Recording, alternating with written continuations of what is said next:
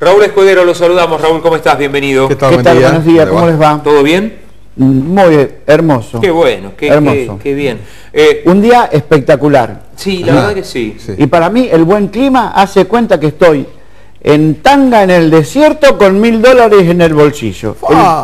es en el bolsillo de la tanga. En el bolsillo de la tanga. Igual, claro, no, permitime no, imaginarlo. ¿eh? No, permitime bueno, una zunga. No generar, ah, bueno, igual. un poquito la cosa. Pero el buen tiempo es, vos, en serio, eh, es contagioso. Te genera, te genera, sí, sí, te genera. Por lo menos el buen tiempo todavía es gratis. Claro. Cuando hay. Cuando hay buen tiempo. Cuando hay, cuando hay buen tiempo todavía es gratis. Más posibilidad de caminar no paga colectivo, por ejemplo. Mamita, ¿eh? vamos a tener que comprar buenas zapatillas, buenos zapatos, porque eh, me parece que entre el valor del boleto me parece que va a ser y menos mal que no se dio eh, la prolongación o la ampliación del estacionamiento medido. Menos mal. Algún día, eh, cuando escuche que algún funcionario, algún intendente, algún gobernador, algún presidente eh, proponga una medida para sacar algún impuesto o bajar algún impuesto, voy a proponer que se haga un monumento. Lejos estamos de eso, Raúl.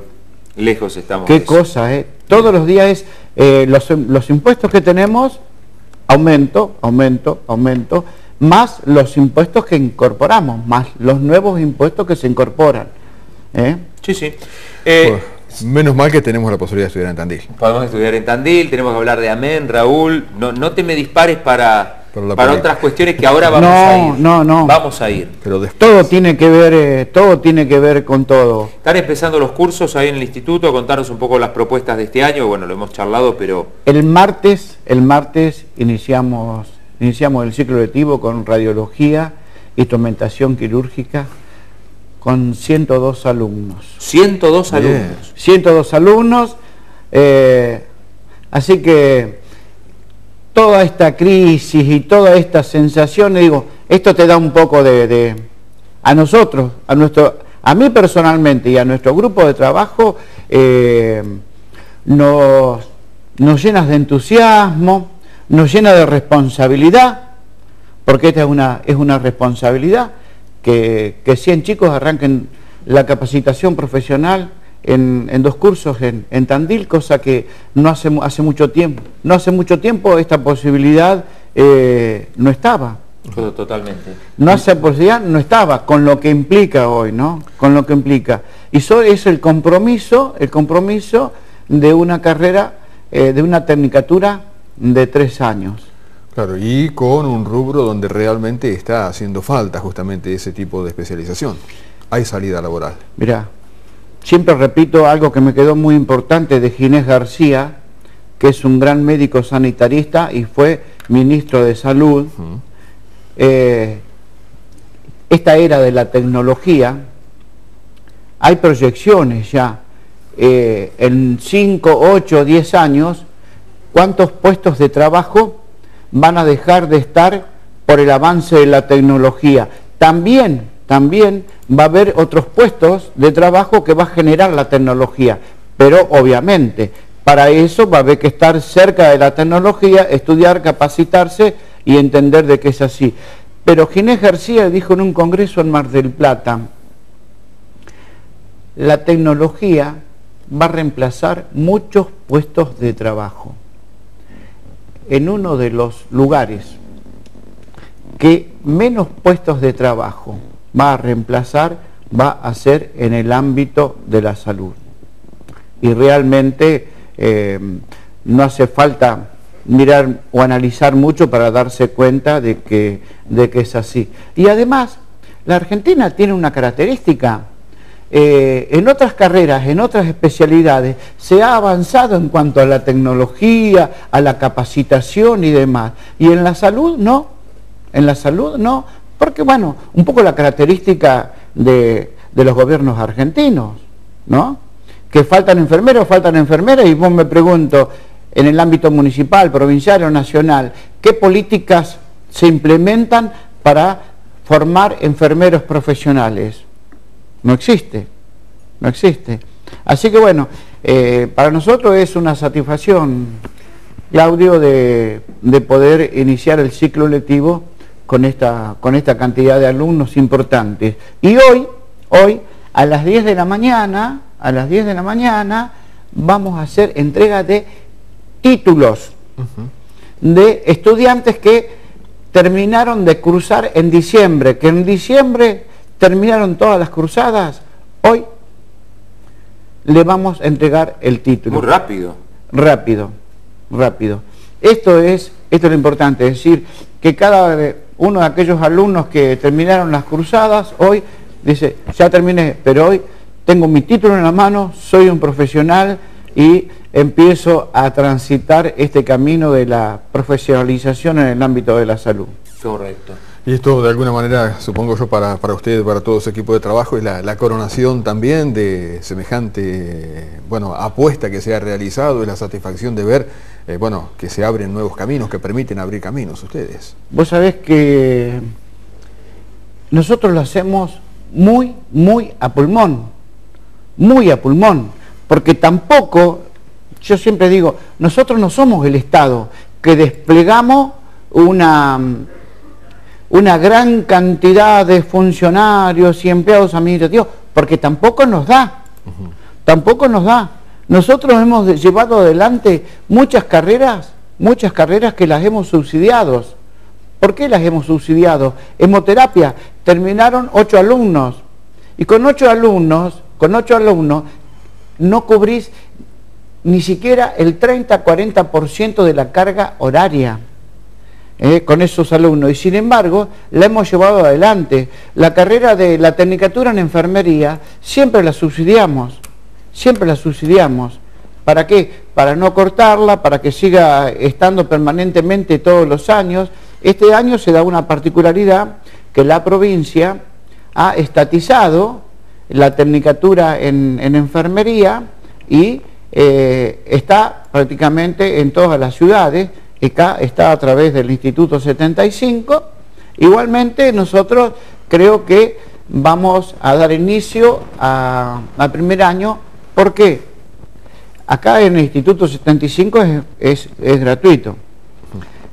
¿Por qué? Porque el cupo se completó y hay mucha gente que quiere estudiar enfermería y al no tener cupo, entonces eh, se ha inscrito en el Instituto Amén. Además, debo decir que eh, el, nivel, el nivel que tienen los profesionales que se reciben en el Instituto Amén es un nivel de excelencia. Tenemos un cuerpo de profesores excelentes, eh, las prácticas en el mejor lugar que pueden hacer prácticas los chicos, que es el hospital público. Eh, Raúl Escudero con nosotros, ¿cómo va el barrio? El barrio estamos... ¿Cómo va su urbanización? Estamos medio paraditos porque desde el 2 de marzo, desde el 2 de marzo está el expediente de, la obra de infraestructura de gas. Fíjate la fecha que es hoy. Desde el 2 de marzo... ¿Está parado el expediente? En la Dirección de Obras Públicas. Yo pensé que iba a estar aprobado hoy en la sesión del Consejo Deliberante, así que bueno, no, sé... ¿Está en el orden del día? No, no. Y por el número de expedientes lo seguimos y está todavía en, en la Dirección de Obras Públicas. Así que por favor, a la gente que está ahí en la Dirección de Obras Públicas, y hacemos un gran esfuerzo, una gran inversión para generar trabajo, para, para hacer cosas importantes, así que veinte y pico días eh, sin que el expediente se mueva me parece, me parece un poco mucho. Raúl Escudero reclama. Exactamente, cambió el tono. ¿eh? Sí, sí. y hablando, hablando de reclamos, hablando de reclamos, eh, a nosotros el año pasado, en 15 días, nos eh, forzaron las puertas y rejas del instituto, en 15 días dos veces. Entonces, nunca, nunca tuvimos respuesta, nunca tuvimos respuesta oficial, nunca tuvimos respuesta oficial a, pesar de la que la, requerimos, de a ver si la cámara que estaba frente al club excursionista funcionaba o no funcionaba. Sabíamos que no funcionaba, pero oficialmente nunca tuvimos una respuesta. Yo vine, reclamé con ustedes acá, un día aparecieron por la calle en Las Heras, pasando 4 de abril, en un poste que quedó el cartelito, pusieron una cámara. Ah, bueno, enfocando para el lado de la farmacia, para el lado de la acera, para el lado del club excursionista. Eh, el lunes me encuentro con un vecino ahí, me dice, Raúl, ¿viste que nos sacaron la cámara? ¿Perdón? Se llevaron la cámara. No sé, algún otro lugar más importante, no sé, no sé si se rompió o no, la verdad, alguno, alguien de la, Secretaría de, Protección Ciudadana, eh, a ver si, si tiene alguna respuesta, me parece que es algo serio. Tuvimos dos aperturas de puertas en 15 días, pusieron la cámara y ahora nos damos cuenta que la cámara no existe. No les habrá alcanzado el presupuesto, habrán recaudado poco y la habrán trasladado a otro lugar. Bueno, Raúl, eh, dejamos alguna pregunta para el próximo bloque, De alguna manera lo está deslizando más de algún comentario, la cuestión política. Hablar un poquitito en el próximo bloque la cuestión política. Sí. sí, hablaremos un poco de eso también. Voy a, aprovechar antes que aumente el, el colectivo. Yo pensé que Nicolini se iba, se iba a oponer al aumento del colectivo porque él está, está planteando una mirada distinta eh, a la del Ejecutivo. Quédate ahí, arranquemos de ahí en el próximo no bloque. el colectivo todavía. No, te, espera, espera un poquito. Acá ya han tuiteado tu frase. Andrea Sánchez tuiteó tu frase. Espera que ahora la perdí. Ahora, ahora te la voy a buscar. Bueno, lo, que, lo que vos dijiste al principio de tu felicidad y cómo está, ya está en Twitter. Bien. Andrea, no sé si era, pero bueno, es una forma de manifestar lo que significa para mí, para mí el buen clima. El buen clima me hace sentir que estoy en tanga en el desierto con mil dólares en el bolsillo. Firma Raúl Escudero 18, te arrobó ahí. Qué grande. Eh, señores, nos vamos ahora buen clima, a, ver. hablando de buen clima. un poquito. Sí, por favor, nos vamos con Buquebus. Con, dígalo, Rodolfo, dígalo. Aparte, ayer fui a mi médico. Con los mil dólares en el bolsillo, con bikini. Ayer fui a mi médico y me dijo que estaba muy bien. Que estaba muy bien. Tengo que hacer estudios, controles, pero muy bien. Me dijo, un, pasa un poquito pasadito de vuelta. Bien. Le digo, lo que pasa es que yo cargo B-Power, claro. entonces eso me da... Para esa alegría, para ese estado de salud tan bueno, etcétera, etcétera, ¿el justicialismo de Tandil lo tendrá como protagonista? ¿Habrá unidad? ¿Cómo, cómo ve todo eso? A ver. No, no, no sigo insistiendo. Sí. Y vos tengo una, una, cuestión, una cuestión encontrada, ¿no? Porque me da eh, tengo, yo tengo la decisión tomada de no participar, de no participar. Eso me da tranquilidad porque me lleva a, a no implicarme, a atender las cosas sobre las cuales tengo responsabilidad directa. Y, y por otro lado, eh, también me da tristeza de ver, de ver algunas cosas. Pero Hoy, ¿sabes qué? Tengo una mirada que está muy por encima del ámbito local. Muy por encima del ámbito local.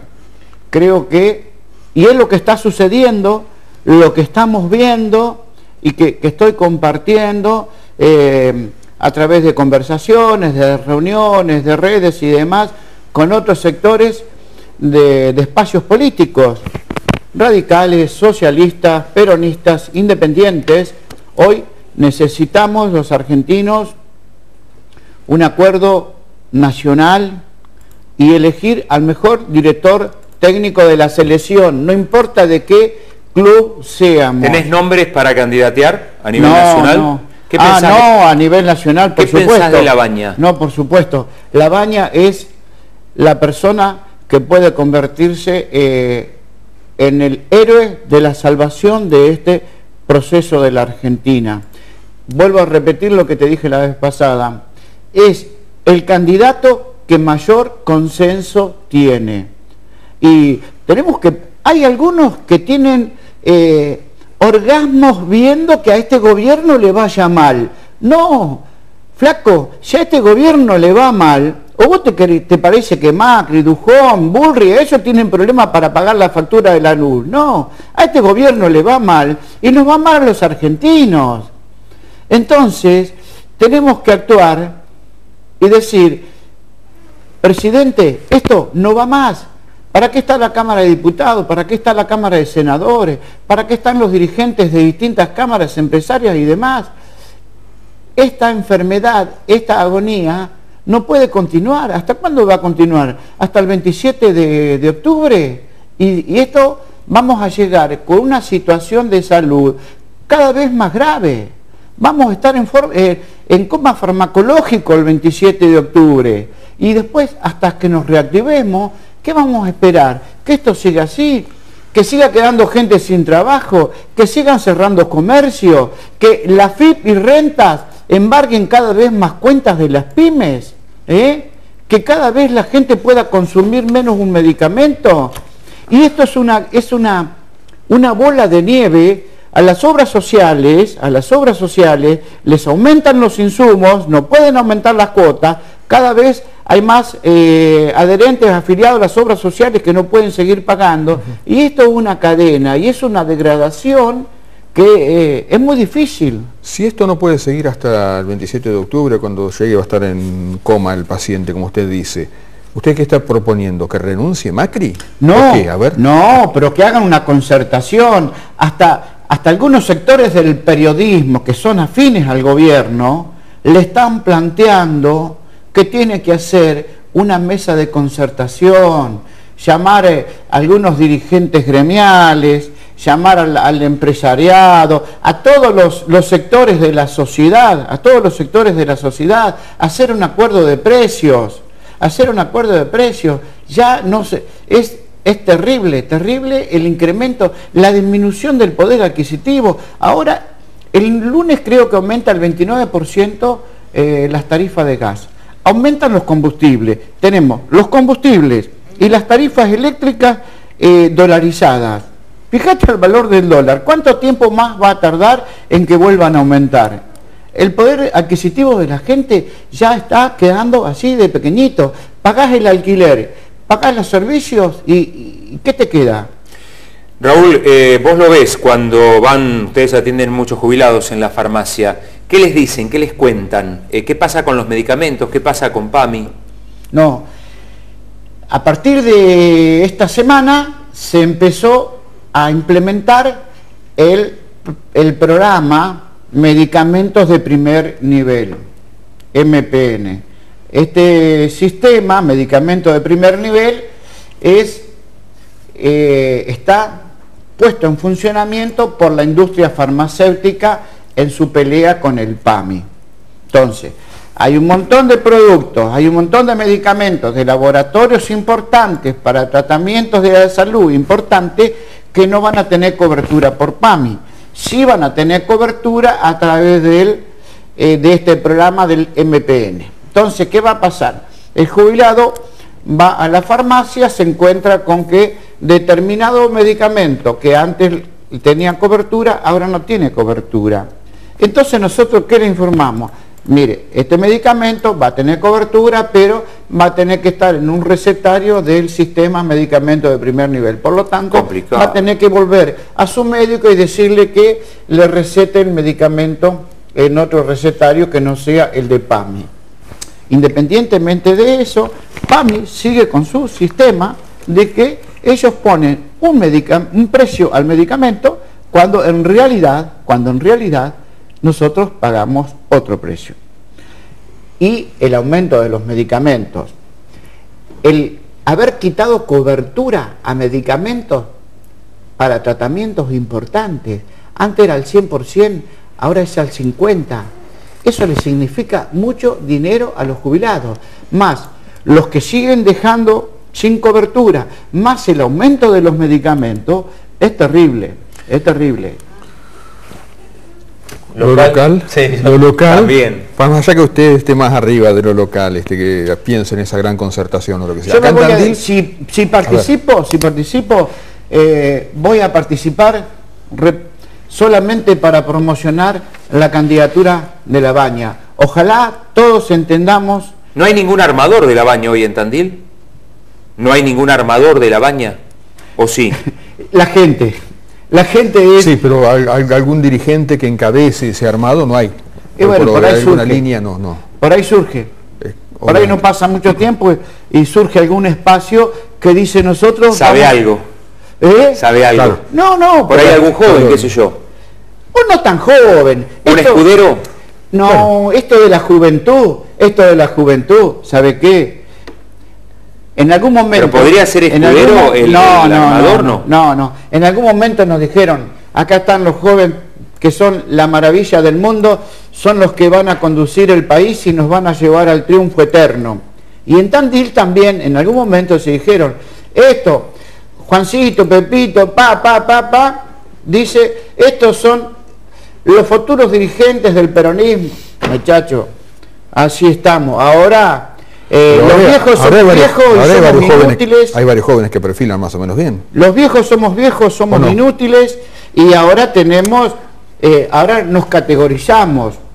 La juventud, la sub-45, ¿viste? Entonces, muchachos, lo que hay que tener es sentido común, experiencia y poder demostrar que en la vida has sido capaz de hacer algo. Si vos hace 15, 20 años que vivís del Estado y nunca asumiste la responsabilidad de gestionar y demostrar fehacientemente de que sos responsable, de que sos capaz de llevar adelante una gestión, vos tenés que demostrar, porque si no, ¿por qué te tengo que confiar? Porque sos simpático, porque sos rubio de ojos verdes. A veces los tratoristas, los peones de tambo, somos más eficientes que eh, porque hemos aprendido en la Universidad de la Vida. Yo aprendí y me capacité en el Jardín de Infantes y en la Universidad de Azucena. Raúl, gracias como siempre. gracias a ustedes y que tengan un buen día. Raúl Escudero charlando con nosotros eh, varios temas como siempre cuando él viene.